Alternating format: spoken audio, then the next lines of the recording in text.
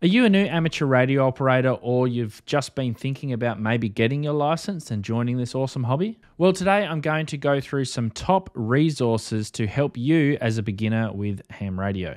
Now, all the links for these resources and everything that I talk about in this video will be linked in the description below, so check those out as we go along. So the first thing we're going to look at is how to get your license. Now, on my channel, a majority of the viewers are from Australia, the United States, Canada, and the UK. So I'm going to go through the licensing process for each of those countries first. So in the United States, the first place that I would visit to get my amateur radio license is the ARRL. This is uh, the ARRL.org getting license page. This gives you all the information about the technician license. This is the entry level license choice in the United States for ham radio operators. Most ham radio operators pass this as their first uh, step in and they are given certain privileges um, to certain bands, uh, all of the frequencies above 30 megahertz. There's 35 questions. This is on radio theory, regulation, and operating. Uh, and then the next one up is general license. General license then opens up the world of HF radio, mainly, um, including some different modes as well, which you can use on HF radio. Same thing again is 35 question exam. And then the next upgrade again is the top level of license is the amateur extra license. And this gives you to access to all frequencies and all modes uh, in the United States. Um, that question pool is a little bit more difficult. It's 50 questions that need to be passed. But if you would like to get started in the United States, then you can find a class, you can take practice exams, you can also find a location. Um, and also have a look at some of the questions available on this webpage for the United States through passing your exam this way. And I'm going to go through some more resources that you can use to help you study going forward uh, in the next section of this video. Next is Australia, and this is the Wireless Institute of Australia's webpage, and this gives information about the foundation license here. This is the entry level license to amateur radio here in Australia, where I live, and this gives you access to certain frequencies within the HF bands, also on some VHF and UHF frequencies as well. Gives you a bit of an idea of the distances and who you can talk to, who you can work, um, some of the technologies that are available, as well as some of the other uh, resources that you can use to get started, including a trial uh, exam as well. And if you go up here to your amateur radio license, you can also have a look at some of the other licenses that are available the standard and the advanced license. If you want to sit for an exam to pass your amateur radio license or you'd like more information, then the best thing to do is to go to the Wireless Institute of Australia's website, click here on affiliated radio clubs select the area or the state that you live in. So I live here in Tasmania, and there is a list of amateur radio clubs here on the left hand side, and you can go ahead and click on a uh, club that's in your area. This is my club here in Hobart, and this will give you some contact information to contact the club to give you more information about how uh, and when these test times are available to sit your exam. Next is the Radio Society of Great Britain in the UK. If you go to their website, there is a beginners tab here at the top, and you can go to what is amateur radio under getting started. And this gives you a good description of what amateur radio is and how to get involved. If you scroll down here on the right hand side under amateur radio in introduction, this gives you some more information. There is a link here, also information for students. So this tells you how to get started with uh, their entry level license, which is the foundation license. And uh, you can then go to some other links here, find out more information. This gives you some information on the course, uh, how much it's going to cost, how to find an exam, 26 multiple choice questions, you have an hour, etc. So, more information about the foundation exam, what happens after the exam. So, all of the information that you require to get your get your license in the UK is available on the Radio Society of Great Britain's website. And finally, the Radio Amateurs of Canada website, the RAC, they've got a page here which details some of the requirements that you need to become an amateur radio operator in Canada. It includes a multiple choice exam of 100 questions. Uh, there's various different levels. There's a basic qualification, there is a basic with honours, and also an advanced qualification. Um, there's some more information here on that uh, on this page. There's also some call signs that you'll be given depending on wh- whatever province or territory you may live in in Canada, and also the fees that are required there too. So check those out in the link below, depending on what country I've just gone through. So, as we have established, you need to pass an exam to become an amateur radio operator. So, what are some resources that you can go to to help you with that? Well, the first one that I want to point out here is Ham Radio Prep. Ham Radio Prep offers courses uh, designed for the amateur radio exam in the United States. So, they've got courses for the technician license, the general license, and the amateur extra license, uh, which are full courses. I've started my amateur extra license course recently, and uh, I'm going through that because I'm a, a, general. I've got a general license in the United States, and I want to upgrade to extra. And I'm going through their interactive course, uh, which is really uh, my style of learning. So they've got a few different ways of uh, study. They've got studying via the website or via an app. And on the app, they also have a free test exam that you can also take to see how you're traveling along. So, Ham Radio Prep, I want to thank them because they do sponsor this video. And you can also get 20% off any course at Ham Radio Prep using the uh, code HAMDX, which is in the description below. So, check out Ham Radio Prep for uh, courses on how to get your amateur radio exam in the United States. The next resource is Ham Study. This is by Signal Stuff. You might know them from Signal Sticks. I've used uh, Signal Sticks antennas on my channel before, but they also have a website called Ham Study, and this allows you to go in here and uh, find out more about what is ham radio, how you get licensed, and tips and tricks. You can also go into any of these license classes. So here's the amateur extra class. You can do a study mode. If you open that up and run that, you can uh, either create an account to track your progress or you can continue as a guest. And once you're in study mode, you can go through these questions and this will track your progress as you go along. Not only that, you can read the questions. So here you can go through and view some questions with the correct answers. Uh, it gives you the question, it gives you the correct answer in green. You can click this little tab here and it gives you more information about that particular question. And these are the questions that you're going to come across in the actual exam itself.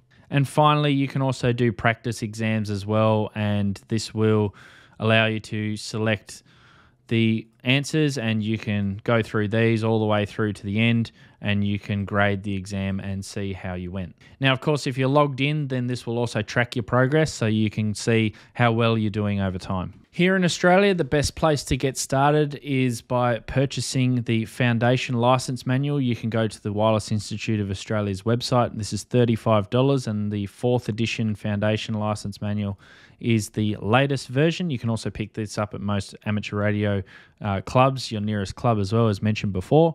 So, this uh, gives you your entry into amateur radio. Now, if you're more interested in a course rather than from a book, then Fred VK3 DAC does foundation, standard, and also advanced license courses. Uh, to contact him, email trainsafe at silvertrain.com.au to ask when his next course is and uh, these run generally for a couple of weeks. You can also check out the Radio and Electronics School.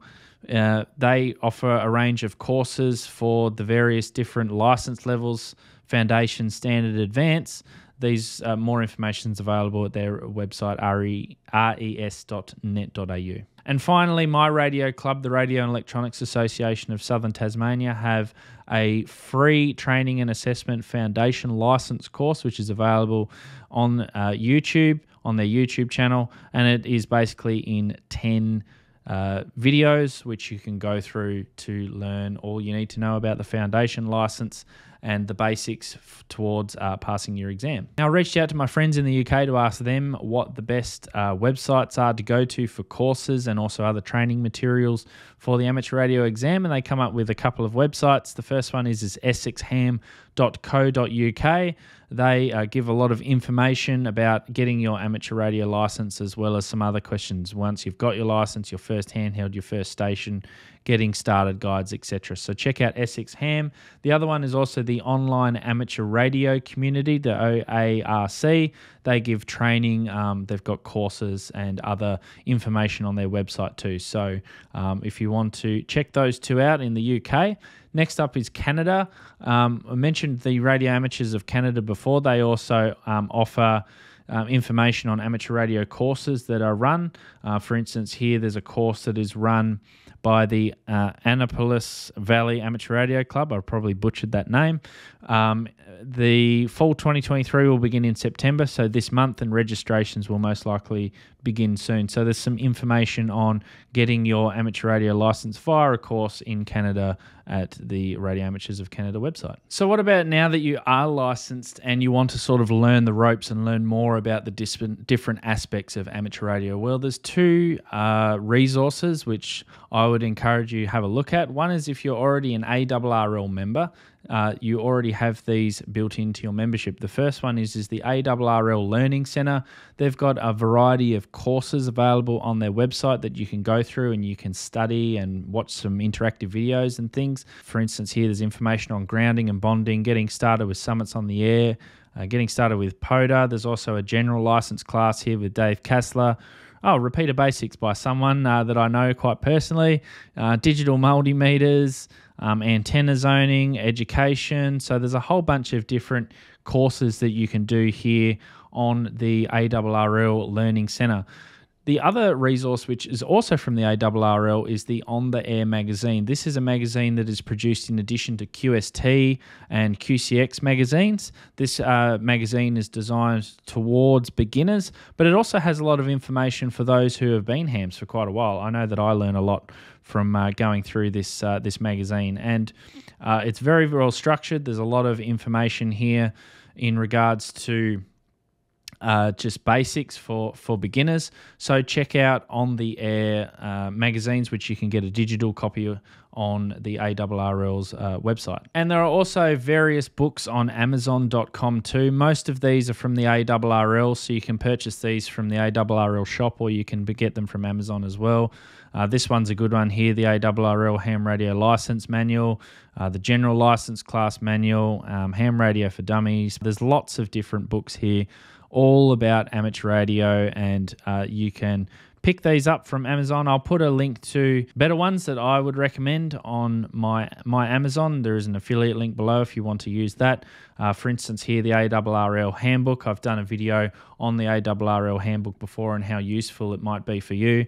Um, I'll put a link up in the cards too to that video if you want to check that out. A common question that I always get on my channel is, is what radio should I get?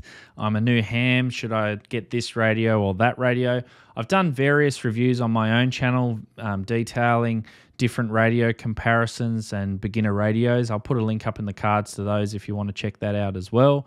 But sometimes that question can be a little bit hard because it all depends on whether you want short, medium range communication, long range communication. Do you just want to talk across town? Do you want to talk just across the world? One of the uh, resources that I would recommend once you know what you want is going to something like eham.net.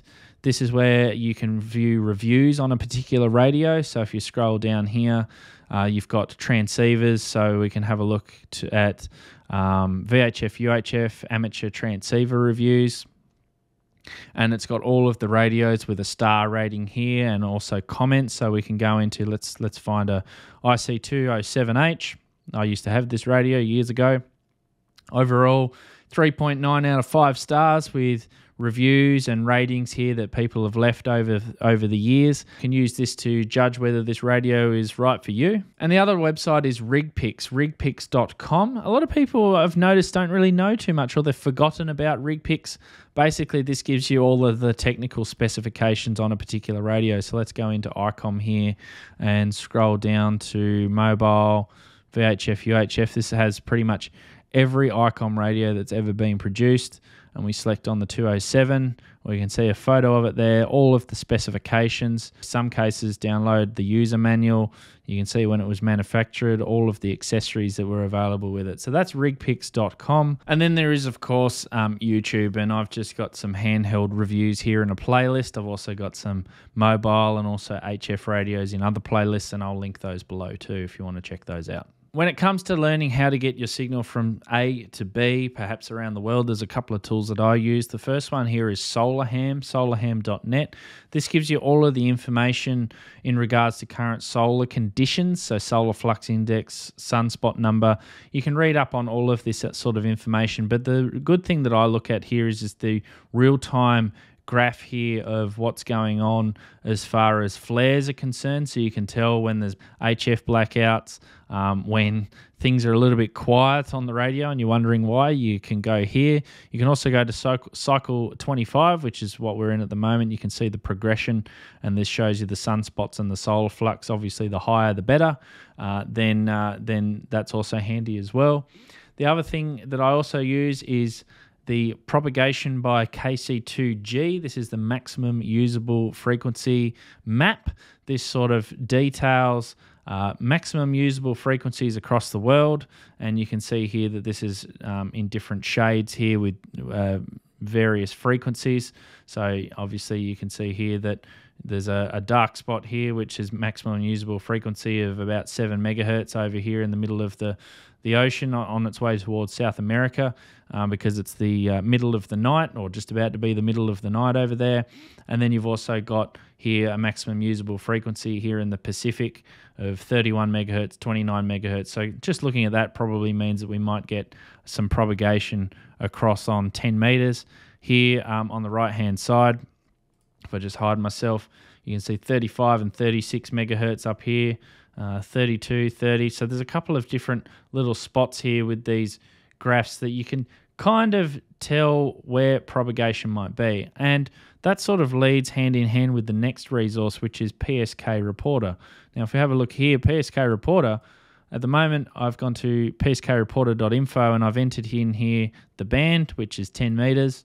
I've shown want to show signals sent and received by the country of call sign, which is my call sign. So my all the signals sent from my call sign, uh, call sign's country, using FT8 over the last 15 minutes, and you can see up here to Japan and all the way across here to Europe. So that kind of matches up with our maximum usable frequency here. You can see there's a big, big patch here, which is kind of like 30 megs, saying that we've got quite a lot of uh, propagation up here to Europe and and also to Asia as well. So that kind of matches up with this. All of this data is driven from WSJTX FT8. Um, you can also um, choose other modes as well. So um, so they're available if they're being reported, but the main one that I use is FT8 because there's just so much raw data. So we can get a, a snapshot and a very uh, quick look at what propagation is doing. So if I change this to say to 15 meters from VK, then it's looking very, very similar, but we've also got a couple of spots here over to the US as well. If I go now down to 20 meters and we'll have a look, 20 meters is showing quite a massive amount of stations over here to the US and to Europe at the moment. So 20 meters is looking pretty good. And the last one that I use is tropospheric ducting. This is mainly for VHF and UHF. So you can go to uh, the William Hepburn DX Info Center website and you can select your region. So here I've got uh, Australia, and if you actually click on the map, it will update and it will change the time and the date for the propagation forecast. And basically, anything that here is on this legend, anything that's sort of high and above, you can expect, or moderate and above, you can expect that there might be some propagation um, happening. So let's just go, let's just try uh, Western North America, so the West Coast. And you can see here there's quite a big red um, patch. Here's Hawaii down here. If we just progress this along. It looks like there's a little bit of a duct up the coast here um, because of the weather patterns that are in uh, western United States and California and across to Hawaii here. Then you can sort of predict that you might be able to talk up and down the coast on VHF and UHF using tropospheric ducting. So that's another useful resource as well. So are there any other resources that I may have missed? Then let me know in the comments below. I've got lots of beginner videos on my YouTube channel. If you want to learn more, then I'll pop a playlist up of those right here. Thank you very much for watching. And uh, 73, hope to hear you on the band soon.